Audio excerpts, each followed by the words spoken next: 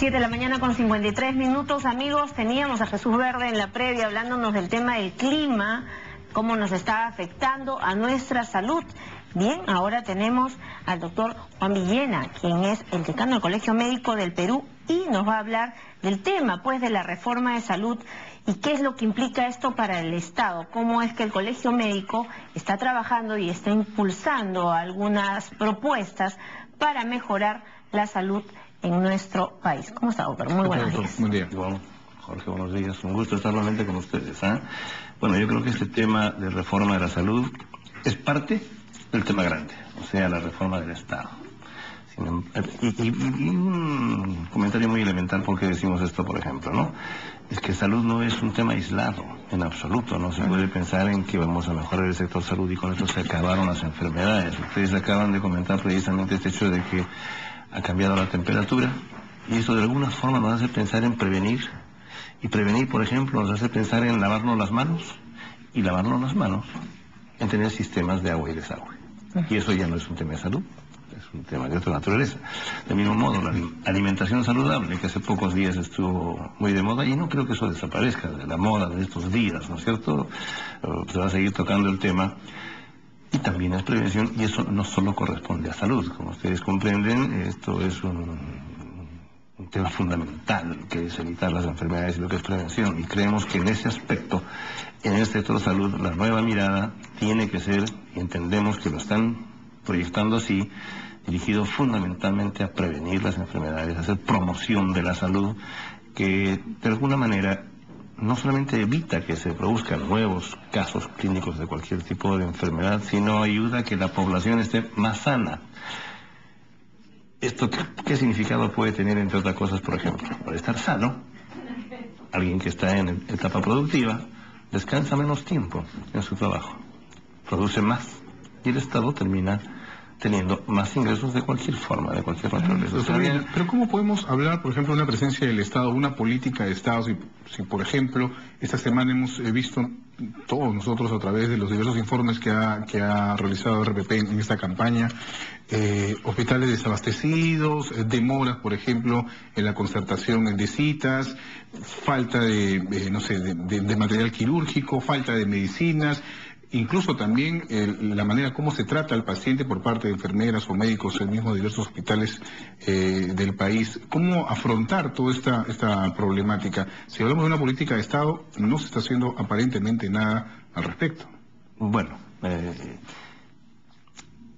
los extremos son serios. ¿ah? Algo se hace.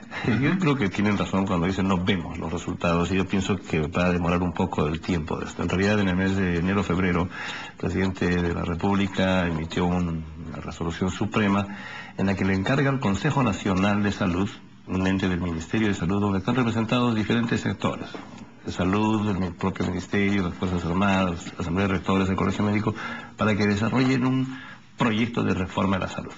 En eso estamos precisamente. Pero lo que señala Jorge, pues es, la vida real.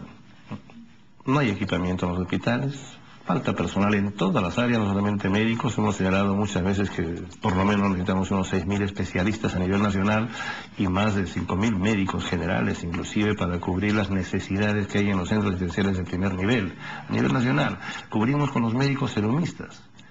Muchísimos espacios son cubiertos con los médicos serumistas y maltratados, que es lo peor de todo. y muchas veces fallecen también en el trayecto a, la zona donde tienen que elaborar, ¿no? Yo a veces eh, no, Son condiciones no entiendo lo que realmente significa expresarse sobre un grupo de profesionales, como es el caso de los médicos serumistas, los más sacrificados entre, entre todos los, los, que, los que tienen que elaborar, porque viajan a zonas donde es difícil el acceso, se movilizan muchas veces en lomo de bestia, como decimos, o en balsas, y llegan al lugar y ahí fallecen unas veces transportando pacientes en movilidades obsoletas que ya no son útiles para nada, pero sin embargo se producen accidentes, en otros casos de manera desconocida. Yo les comento, en Moquegua hace tres y dos años respectivamente fallecieron dos médicas, dos damas, que nunca se pudo hasta el día de hoy esta investigación. Fallecieron. No sabemos realmente como fue. buena cuenta ese es un tema trascendental, el de personal, ¿no es cierto? Recursos humanos. Doctor, ustedes hacen un planteamiento para reformar la Constitución para que se reconozca efectivamente el derecho a la salud. Sin embargo, Este planteamiento, si bien es un planteamiento, digamos, este, sublime, es un, planteamiento que es de repente necesario, eso de repente no va a cambiar eh, lo que por estructura tenemos en el, en el circuito de la salud de nuestro país porque no solamente estamos hablando pues de reconocerlo como derecho, sino de que falta infraestructura, de que falta personal, de que falta eh, personal calificado, de que falta formación, ¿no? Entonces, em, digamos, no es como algo utópico querer hacer toda una reforma en la Constitución para consagrar este derecho a la salud en lugar de trabajar de repente en un tema mm, de repente que para el ciudadano es más de fondo o que le es más tangible? No, absolutamente de acuerdo. No es una varita mágica que se mueve así, se modifica la Constitución y el Estado es otro y la salud se acabó el problema. Eso es imposible. Totalmente de acuerdo que estos son pasos progresivos. El objetivo, y usted me pregunta cómo ve salud, bueno, yo lo veo como una seguridad social de toda la población objetivo a largo plazo una seguridad social, que todos estemos cubiertos, que todos tengamos salud e inclusive con, los beneficios que corresponda a una seguridad social real, ¿no es cierto? Pero nadie va a pretender que eso se resuelve de la noche a la mañana, y menos aún en las circunstancias en las que estamos nosotros. La economía actual del Perú, como la entendemos y como se manifiesta, cada vez está mejor, es más pujante, entonces es el momento de cambiar la mirada. Y uno de estos hechos es lo que está señalando perfectamente priorizar salud y priorizar educación no debe ser una expresión, debe ser un hecho real. Y es momento de cambiar la mirada también para los actores de esta de este tema. Estamos hablando de cómo coordinan ustedes, por ejemplo, que yo era algo que le preguntaba, cómo coordina el Colegio Médico, por ejemplo, con la Federación Médica. Cada uno tiene una actuación por su lado y no eh, de manera conjunta, porque suponemos que los problemas son comunes entre ustedes. Claro, lo que sucede es que de alguna manera la federación tiene como objetivo fundamentalmente eh, los reclamos gremiales, llamémosle reclamos, porque lamentablemente si los problemas no existiesen en lo que se refiere a los recursos humanos que tienen, las necesidades que tienen los médicos, no habría necesidad de reclamar. Entonces, la expresión fundamental desde el punto de la Federación Médica es que los médicos sean tratados adecuadamente. Colegio Médico ve este aspecto, pero no solamente él, de temas de ética, de deontología, políticas de salud.